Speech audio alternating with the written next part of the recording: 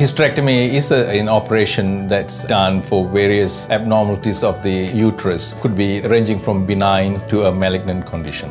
Traditionally, if you go back, uh, hysterectomies are usually carried out uh, through an open uh, approach where the patient's abdomen is opened. You identify the structures, uh, including the uterus, the ovaries, and then you conduct the operation after uh, kind of separating the muscles, opening the rectus sheath, and then going right into the abdominal cavity, taking the uterus out that way, uh, which is very invasive.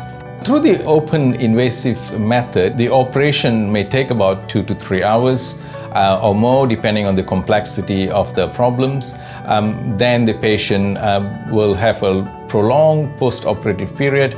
Uh, is essentially the, the recovery here is due to the incision and also the separation of the muscles in the rectus sheath. You're looking about a week of, of stay in the hospital post-operative. So at six weeks uh, post-hysterectomy, uh, you're looking at about a 50% recovery. For good outcome, you're looking at about three months, uh, and even then, you're looking at about 80 to 90% recovery. Quite a few advances have come into the way we do hysterectomy with the advent of the robotic system. It gives you as good a vision, if not better, than the open method. It's a 3D vision. You can identify all the structures and then carry out the surgery with good access and good margins. And hence, uh, with just a minimally invasive approach with the robotic platform, you can basically do the surgery that you did uh, traditionally by open, but with equally a good outcome, or if not better, but an equally excellent recovery. The Da Vinci system provides that option for patients, and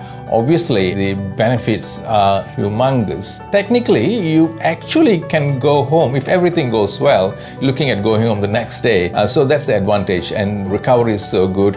Uh, and if there's need for further treatment following the surgery, you get into the treatment much sooner as compared to the traditional approach where you wait for six weeks because the wounds have to heal. You don't have to use so much of pain relief post-operatively, and that's a good thing.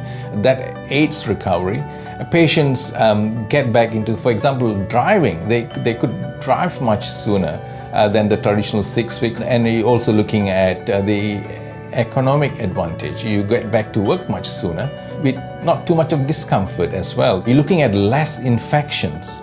Uh, infections are one of the main problems with uh, bigger, longer incisions like the traditional method. With the Da Vinci, you're looking at small keyhole incisions and they heal really well. So there's so many advantages for the patients. The minimally invasive system, the Da Vinci system, also uh, comes with some benefits to the surgeons as well. It uh, allows the surgeon to concentrate better during the operation. It's very focused operating through the system.